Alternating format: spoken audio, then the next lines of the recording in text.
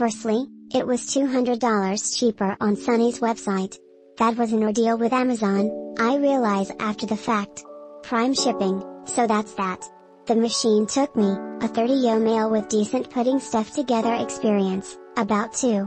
25 hours. I was in tough shape after work and I bet I could have done it quicker.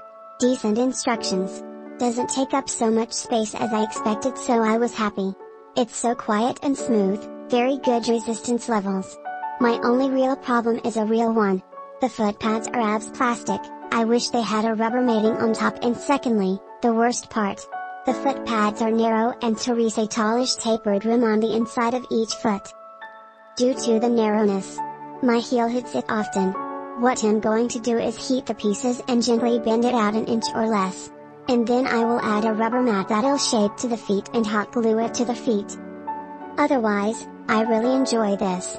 It replaced a Bowflex M5 stepper elliptical that I loved and hated, so for $644, I have no complaints really. Very good mechanism. But all the time something clicks in the left pedal. Collected it about 5 hours. And already 3 days trying to find what clicks in the left pedal. I assembled my elliptical today, took me 2 hours by myself, looks worse than it is. I am very impressed with how solid it is and this thing literally makes no noise at all. I have previously owned a Proform and I did like the space-saving flip-up rear flywheel, but it creaked and swayed, and clicked and it was heavy, the so-called fan sucked, my dog could pant in my face better than these built-in fans. It was the older version from today's newer model, which looks like a beast to stand upon in for space saving and 2x the price plus hash 50 pounds heavier, so I took a chance with Sunny and a front flywheel and it doesn't fold up, and I think I made the right choice, so far. There are no bells and whistles. As of day 1 pros, super quiet solid and stable smooth glide with rollerblade style wheels on glide bar simple programs good arm motion and a pretty good legs drive lighter than Proform model I was looking at. Has a place to put your tablet and a H2O bottle holder. Cons, well none so far for me so far but if you like Bluetooth and wireless connections etc.